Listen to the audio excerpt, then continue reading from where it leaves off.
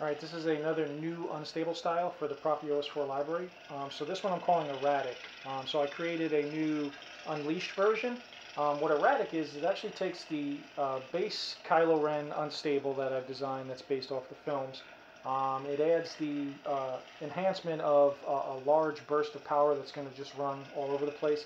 It's an increase in speed, but now for the erratic version, um, there's actually a randomization of the speed as well as the intensity as well as the power flashes.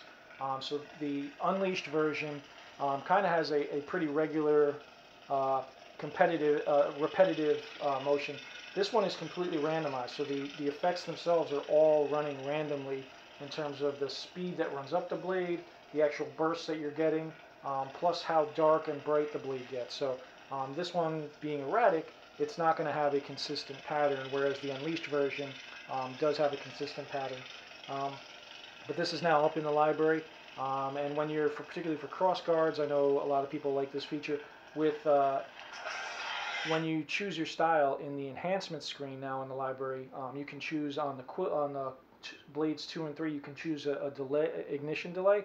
There's a dual mode ignition delay, and what that dual mode ignition delay is is if your blade is level or pointing up, all three blades ignite at once.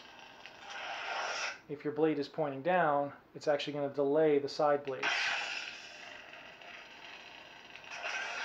So it gives you the ability to have both of those, both the delay and without delay in a single blade, um, just by choosing that as a, an ignition delay in the enhancement screen.